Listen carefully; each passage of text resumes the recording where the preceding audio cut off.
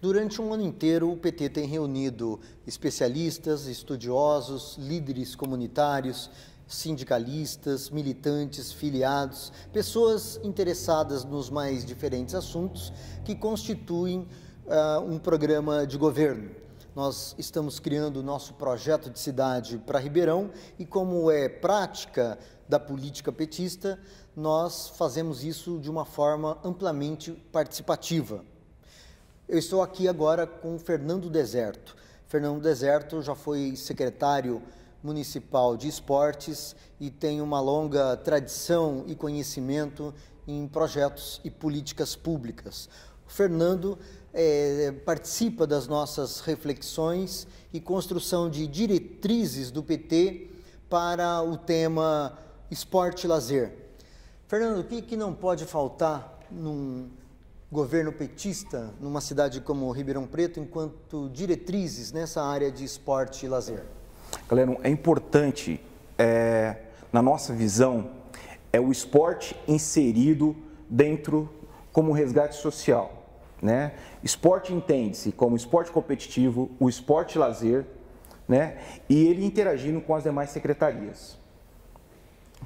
Então isso é algo que é fundamental e principalmente o incentivo aos atletas da cidade, quer em todos, não entende esporte como somente uma modalidade. Esporte engloba tudo. E o esporte ele vem ser um resgate da cidadania. Hoje, se toda a população soubesse a importância que o esporte tem na formação do indivíduo, no caráter, que ele aprende a conviver em grupo, os investimentos seriam muito maiores. E qual o caminho para isso, por exemplo, quando interagem ah, uma secretaria como a de esporte e a educação?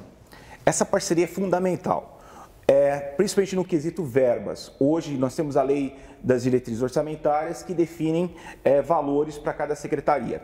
A Secretaria de Esportes, é, em função dessa visão, ela possui uma fatia muito pequena dentro desse todo.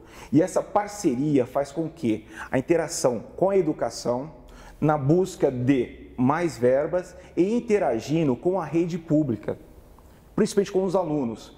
Quer, vamos colocar os Jogos da Primavera, que era um, algo que movimentava toda a cidade, e até para os Jogos abertos, os Jogos do interior.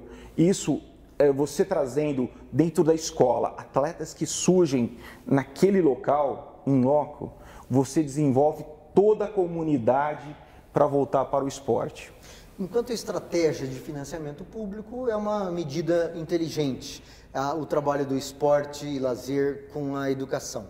Agora, em termos de projetos e programas é, para serem utilizados para beneficiar as crianças que estão nas escolas das redes municipais. É, como que é isso na prática? Que tipo de iniciativa, que tipo de ação que um governo do PT em Ribeirão pode, deve e vai fazer para que isso ocorra da melhor forma? A nossa visão é sempre esse trabalho em conjunto. Nós buscamos sempre parcerias. Nós sabemos que hoje, em função dos vários problemas que todos os municípios, os estados e até a política nacional passa, as verbas têm que ser buscadas com parcerias. E a parceria busca através da confiabilidade.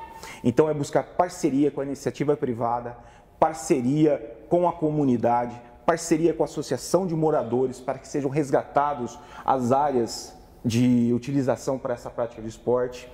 E isso englobando é, não somente a adolescência, mas o idoso também. Né? É o jovem, a criança, o jovem, o adolescente e o idoso o, é o esporte muito mais do que algo para produzir cidadania, autoestima, disciplina, do que qualquer outra coisa. Sim, Isso. sem dúvida. Hoje, a, nós percebemos que existe um equívoco muito grande de achar que o esporte é, só, é, competição. O esporte não é competição. O esporte é um agente de interação social, é de resgate à cidadania. A criança que inicia a prática do esporte logo no início da sua vida é uma criança diferenciada. Ela adquire a autoestima, ela não se deixa levar pelo tráfico, ela não usa droga, porque sabe que a droga vai prejudicar a performance dela. Então, é, se nós começarmos desde o início essas competições desde o início, é, fazendo esse trabalho com a rede é, de educação, você entendeu, com as demais secretarias, puxa, nós evitaríamos tantos problemas. Agora, falando da competição em si, tradicionalmente Ribeirão Preto tinha por conta de suas políticas públicas, eh, que é o caso que ocorreu nas duas gestões do PT na cidade, eh, participações mais vibrantes, participações mais organizadas e que acabavam trazendo resultado. Não era competição pela competição, mas o resultado do trabalho aparecia na forma de medalhas. Re, eh, nos últimos tempos, a cidade passou pelo vexame de ser escolhido para ser sede dos Jogos é, abertos do interior e não deu conta de realizar em cima da hora, é, abriu mão de uma maneira até vergonhosa e uma, uma cidade muito menor que Ribeirão acabou abrigando. É, era muito mais vontade política do que qualquer outra coisa. E ah, agora, mais recentemente, a delegação de Ribeirão Preto, que era sempre uma favorita, né, ela deixou de ser. Ela pode ficar com o segundo, com o terceiro lugar, e isso passou a ser tratado como algo muito normal, embora não fosse comum. Ah, que tipo de tratamento um governo do PT vai dar para esse assunto em Ribeirão? A perda dos Jogos Abertos por Ribeirão é a falta da visão realmente social para o esporte. Por quê? É, os jogos abertos não pode ser encarado como um fator de arrecadação, sabe assim, que vai dar lucro, como a Stock Car, como a, a Copa São Paulo de uhum. júniores que vem para cá, que isso representa é, lucros, né?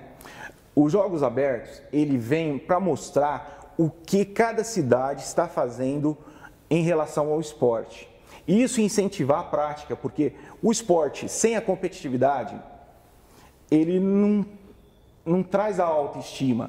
Então é onde as cidades se encontram para estar tá realizando isso. Então ele jamais pode ser visado como retorno financeiro. Não é turismo. Não é, não e é muito turismo, menos é retorno é, financeiro ou televisão, né? Porque se nós formos olhar hoje é, a, os adolescentes, os atletas né, que praticam esporte, quer na, nas, através do, da, da rede pública, né, que aqui, né, Cabo do Bosque e tudo mais, são o pessoal que realmente vai com aquela exposição. O atleta, ele tem algo, Galeno, que é, é muito lindo, ele tem aquela ingenuidade, ele se dedica totalmente. Né? E hoje no Brasil, infelizmente, é, os atletas são alguns de pontas que conseguem patrocínio que vão para frente. Ou seja, uma política pública municipal na área de esporte não pode ser confundida com espetacularização. Sem dúvida, sem dúvida. Ela tem que ser voltada para quê? Para que a cidade respire, para que aquela autoestima o, o, atleta que está competindo leve para o irmão, leve para o vizinho e para o amigo da escola. Tem que ser um incentivo, né? Sim, um incentivo para que a família venha também e comece a praticar esporte, que vê que o filho está participando. Então, incentivo à prática do esporte. Tanto é que os meninos, os atletas, ficam alojados em escolas, eles dormem no chão. Então, é aquela integração realmente de pessoas que respiram o esporte. E da forma que foi colocada nesses últimos jogos, o pessoal estava olhando lucros. Isso não existe. Tá? Né? Perfeito. Um outro tema é a questão do lazer. E o lazer para toda a população. O Ribeirão tem alguns parques, bons parques, é, e muito concentrados na zona sul da cidade. Agora, existe uma população que daqui a pouco está beirando 700 mil pessoas, em outras regiões da cidade, é, nada abastecidos por regiões e por áreas públicas de lazer. Ah, o, o Parque Tom Jobim é uma exceção, ah, mas falta muito. Qual que é a proposta de um governo petista para que o conjunto da população, os idosos, os moradores das regiões periféricas possam ter atividades de lazer? Sempre foi criar parceria com a Associação de Moradores. A Associação de Moradores é que sente o que cada bairro necessita. E isso, inclusive, para o esporte.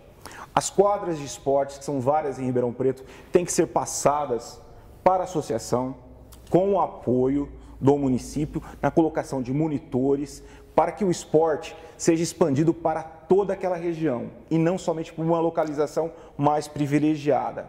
Todos têm direito, todos pagam impostos, tanto o X como o Y. Então, a política do PT é abranger todas as classes, isso através de parcerias. A parceria ela é tão boa para a Zona Sul como para a Zona Norte.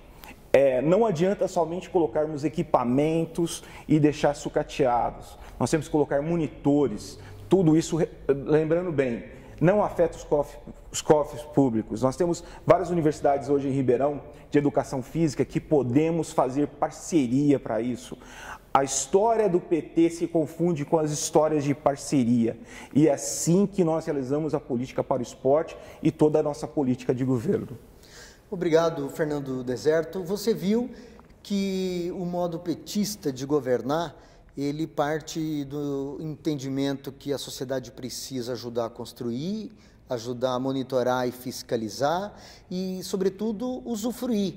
É, o direito à cidade é um direito de todos. Eu convido você para assistir todos os 13 programas que foram feitos, cada um abordando uma das temáticas que compõem o nosso programa de governo participativo.